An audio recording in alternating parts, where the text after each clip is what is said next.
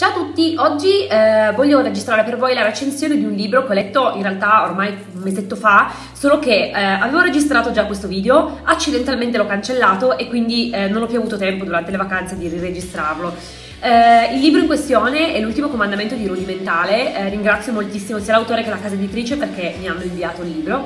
e tra l'altro sono stati gentilissimi perché eh, me l'hanno inviato in Inghilterra. Il libro non ce l'ho qua fisicamente ma vi metterò una foto magari da qualche parte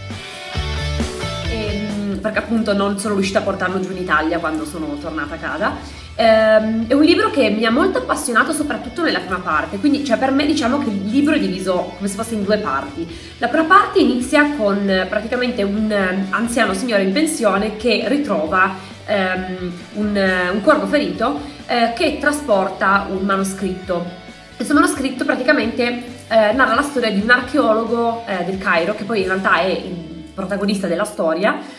questo archeologo del Cairo, che è appunto un ragazzo laureato ehm, all'Università del Cairo, praticamente eh, il cui sogno è quello di eh, rimettersi sulle sul, praticamente sulle strade, la, la, tutto quello che ha fatto, su quello che praticamente Ramses II ha percorso verso il Sinai, perché è convinto appunto che là nel Sinai ci fosse un, um, un tesoro, un tesoro nascosto, perché durante questo viaggio Ramses si era fermato. Um, praticamente durante mi sembra una ritirata, ehm, si era fermato in questa zona in modo un po' strano, non era una cosa prevista e quindi diciamo che eh, da questo suo studio, queste sue ricerche, lui era convinto che in questa zona ci fosse un tesoro. Quindi praticamente lui parte ehm, diciamo alla ricerca appunto di questo tesoro e si trova poi in realtà ehm, immischiato in qualcosa di molto più grosso di quello che pensava. Ehm, diciamo che è un po' un libro eh, dalle tematiche fantareligiose, nel senso che eh, infatti per questo che io dicevo che per me il libro eh, è diviso in due parti. La prima parte è quella del... che mi ci rivedo un po' perché essendo scienziata e ricercatrice, insomma, mi, mi, ha entusiasmato soprattutto la prima parte, l'entusiasmo di questo ragazzo che andava appunto alla ricerca ehm, di questo tesoro, della, della sua volontà di eh, restare fedele alla,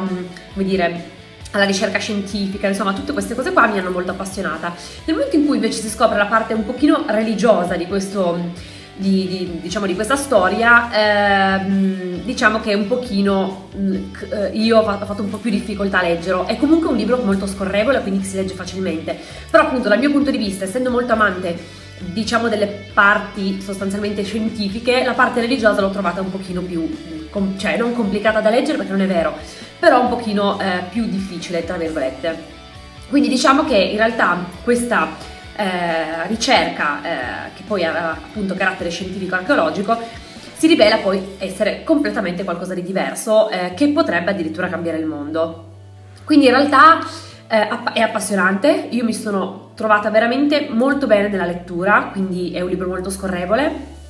Eh, il finale eh, mi ha lasciato un pochino così, però appunto è una cosa soggettiva. Ehm, diciamo che appunto non vi racconto nient'altro, era soltanto per farvi conoscere questo autore e questo libro che appunto mi sono piaciuti molto. Eh, quindi eh, vi lascio l'immagine di nuovo del libro eh, e niente, eh, fatemi sapere se l'avete letto o nel caso vi interessasse perché appunto è un libro molto eh, carino, appunto deve piacere come tematiche, come ripeto, appunto perché oltre alla tematica eh, fantareligiosa diciamo c'è anche, quindi anche scientifica la prima parte, c'è più una parte poi diciamo relativa alla guerra, alla pace e quindi diciamo tocca anche tematiche abbastanza importanti e a volte anche difficili da trattare, pur essendo in questo, per esempio, in questo libro trattate abbastanza bene secondo me. E, ehm, e niente, spero che eh, possa esservi eh, d'aiuto questo, questo, mm, questo, video per darvi uno spunto anche di lettura e niente, vi mando un bacione e ci vediamo al prossimo video. Ringrazio ancora mm, l'autore e la casa editrice.